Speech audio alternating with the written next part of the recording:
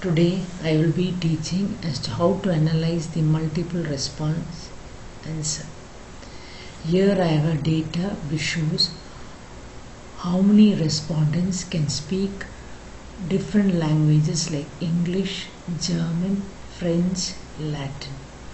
So here 1 refers to those who can speak in English and 0 refers to those who can't speak in English.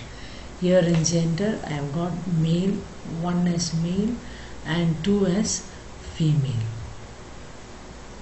So even before analyzing it is essential to define the set.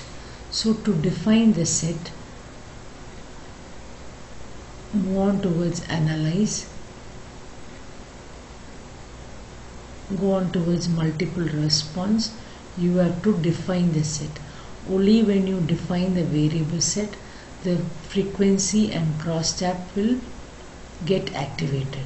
So here I am defining the variable set. So all the languages spoken is selected with the help of shift key and I am placing it in variables in set.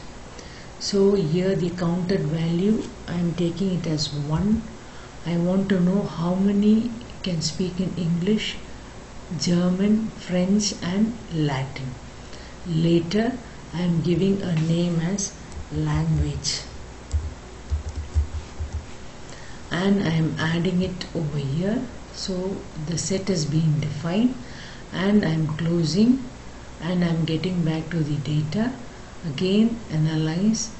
You've got multiple response set. See frequency and crosstab has been appeared so first we are moving on towards frequency. So I've got only a group of people where I have not classified into gender. So I just want to know the count. In that case we can use frequency. So the language I have to click towards the table for and then clicking OK. So here 26% of the respondents can speak in English, 30.4% can speak in French. So this is how you have to interpret the variables. And here the n value is 90 there is no missing case. So this should be reported only when you don't have any group this type of frequency. Suppose we have to analyze in a group format then getting back to analyze going back to the multiple response. So I am clicking cross tabs.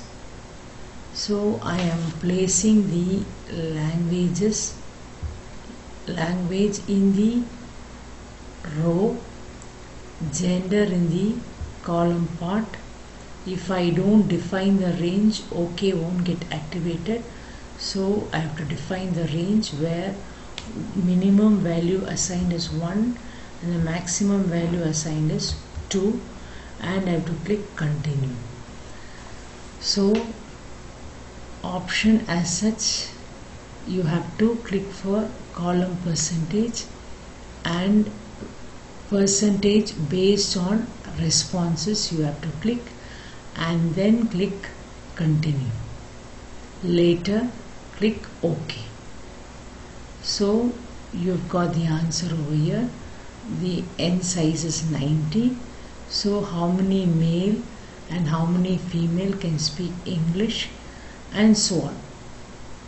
So this is cross tab can be used when you have got two groups. Frequency can be used when you have got one group. The same interpretation follows like the one which I did for frequency. Thank you for listening